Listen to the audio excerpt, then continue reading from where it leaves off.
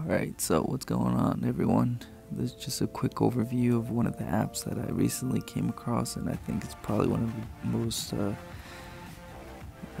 effective and just really good apps that people should have, especially if they have an iPhone. Um, I have an iPhone, and I don't know, it took a while for me to come across this, but it's this app called Record It. So you see me opening it right here two step process. The first step, if you click on it, it actually shows you what you need to do to have the app work. Um, one of the things it doesn't show on here is that you have to have the latest update. If you don't have the latest update, it's not going to let you even download the app. But to actually get it going, you need to go into your settings and you need to allow the app to record your phone basically once you're done, you can uh, exit out of this setup screen recorder portion.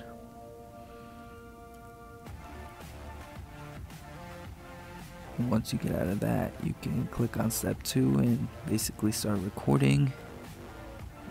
Or the other option is to kind of flick up on your phone, on your iPhone, if you're using using it on an iPhone like like I am oh, one quick thing. So on the recordings, for me, it doesn't go to the, the app. It goes straight to my camera, like wherever my videos go.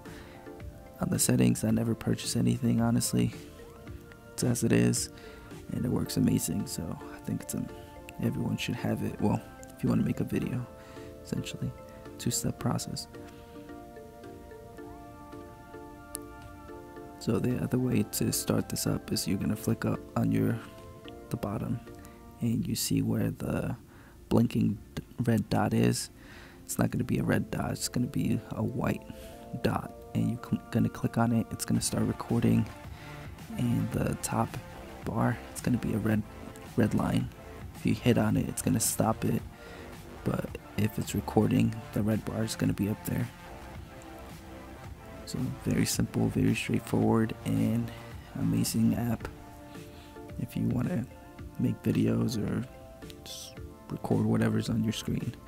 So I'm gonna go over a couple things here just so you actually see that it works. So I'm gonna launch uh, a game here and just kind of short view of it. So it works. You know, it's gonna capture whatever's on your screen.